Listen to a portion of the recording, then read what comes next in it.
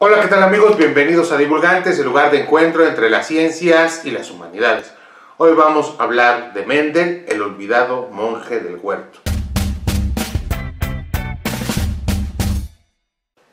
En la colección de viajeros del conocimiento hay un número dedicado a Gregor Mendel y sus contribuciones a la genética que se llama así, el olvidado monje del huerto. ¿Por qué se habla del olvido de Mendel y su trabajo? Peter Bauder nos presenta en su artículo La contribución de Mendel una posible respuesta a este olvido. En su texto nos explica por qué su trabajo tuvo tan poco impacto en su época. Por qué su trabajo permaneció hasta cierto punto desconocido.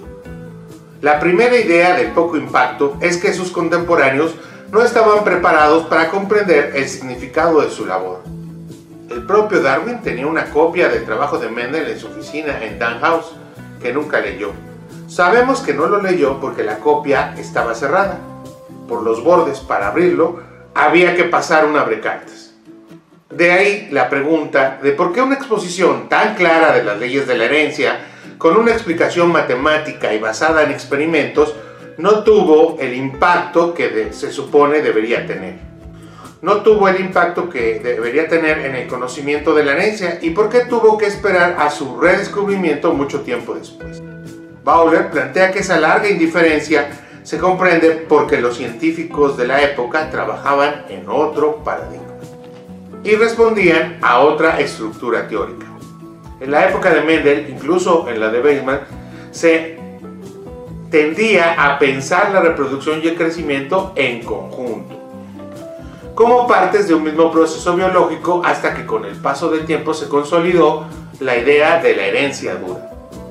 Ahí donde nosotros vemos unidades hereditarias, en la época de Mendel se piensa en los problemas de la hibridación. El paradigma dominante en su época, el problema planteado y el foco del esfuerzo de la investigación no es la herencia, es el origen de las especies. La hibridación y su estudio, por razones más que obvia, siempre fue importante para los horticultores.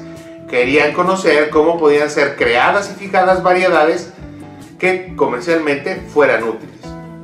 Y desde el siglo XVIII, los naturalistas estaban interesados en saber si las nuevas especies podían generarse por hibridación. Y si estas nuevas especies, en contra del fijismo, podían ser, además de producidas por entrecruzamiento o hibridación, fijarse. Los naturalistas no centraban su atención en los caracteres, sino en las especies como tales. Por cierto, Mendel no fue el primero en hacer experimentos con chícharos. Thomas Kinney, presidente de la Sociedad de Horticultura de Londres, llevó a cabo experimentos con chícharos a principios del siglo XIX. También es interesante mencionar que otros hibridólogos como Alexander Seaton y John Goss reportaron ejemplos de lo que después se llamará dominancia y segregación. Aunque también hay que mencionar que estos trabajos no tenían un esfuerzo cuantitativo como el trabajo de Mendel. Los naturalistas exploraban la idea de Linneo sobre el origen de las especies.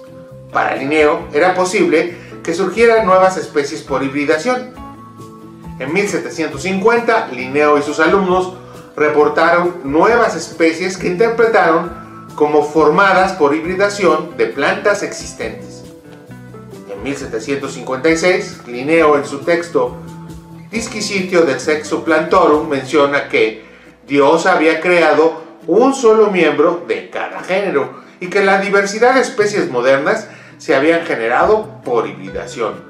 La comunidad de naturalistas entonces se dividió entre los que apoyaban la hibridación, que querían demostrar que las nuevas especies podrían formarse por hibridación, y los naturalistas que lo contrario, que aunque validaban la hibridación, no pensaban que podían generar nuevas especies, porque las formas intermedias son normalmente estériles y por lo tanto no dejan progenie y entonces no podrían ser el origen de nuevas especies.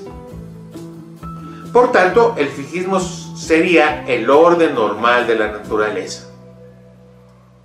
La atención y la búsqueda de las investigaciones estaba en la formación o no de nuevas especies, no en la herencia. De ahí que la obra de Mendel pasara desapercibida.